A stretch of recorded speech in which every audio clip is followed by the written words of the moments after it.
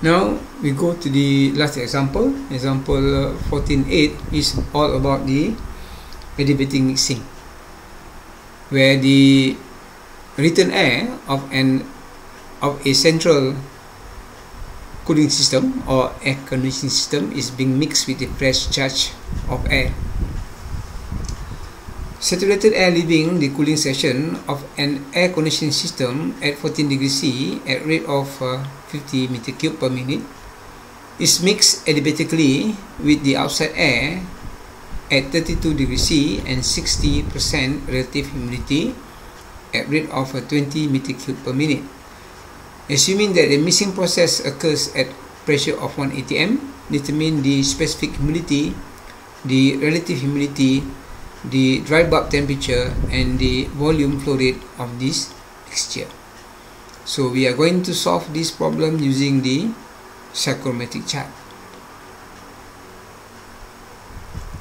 So this is the section involved.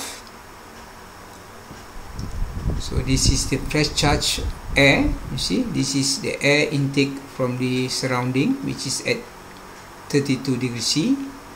This is the return air, assuming that is saturated air, meaning that the phi value is uh, 100% this is uh, the outlet of the mixing section which is section 3 and we need to find all the parameters needed in this case. So from the psychrometric chart we try to plot state 1 and state 2 this is uh, state 1 at 14 degrees C and it's a saturated air. So it should be on top of this saturation line. Then for section 2 the fresh charge the fresh air at 32 degrees C and the RH value or the phi value is 60% so this is 60% then this should be our state 2 So this is all the enthalpies and the omega we have from that state then based on the psychrometric chart. Try to get all the H1, H2, the omega 1, the omega 2. And also we can get from here we can get the specific volume value. Then to get the state 3 we need at least two properties in order to plot the state 3 so from the mass balance this is the m.a1 and uh, from here we could get also the m dot a1 this is the m dot a2 and uh, as for the mass balance for the dry air sorry I think there is a mistake right here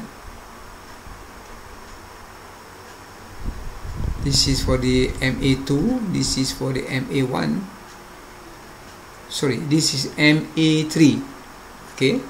So the SMA1 the, the mass conservation for dry air the outlet air mass flow rate is the equivalent to the mass flow rate of the inlet.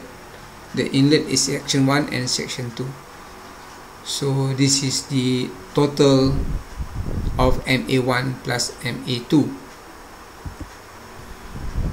then from here the specific humidity and the enthalpy of the mixture can be determined. This is 4.3 okay 4.3 this is the ratio of MA1 and MA2 which is equivalent to omega 2 minus omega 3 divided by omega 3 minus omega 1 equal to H2 minus H3 divided by H3 minus H1 so if we rearrange this is what we have. So in this equation we need to get what is omega 3 and H3 so by try and error or better still using solution from the mathematical analysis or by looking at this uh, try and error method whereby we try to fix the omega 3 and a value of uh, H3 until it yield until we get this value. Okay? So it's, it's quite cumbersome. You need to try and error but if you know how to do programming I think this is not a very difficult uh, equation to be solved. So from this we could get the omega 3 and H3 in order to yield this 60.5 divided by 22.5 value. So this is how we get the omega 3 and H3 so once we get the omega 3 and H3 now we can plot this two line to have the state of 3 so again this is for the state 1 this is state 2 and then there is the omega 3 12.2 gram over kilogram of dry air. Then we have the enthalpy 50.1 we plot it.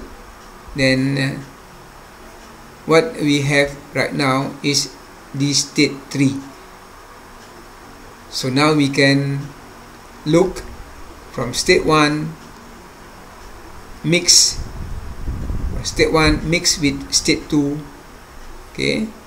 So what we have right here is coming out from the mixing chamber is state 3 okay.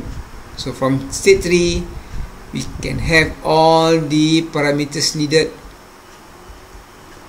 This is your T3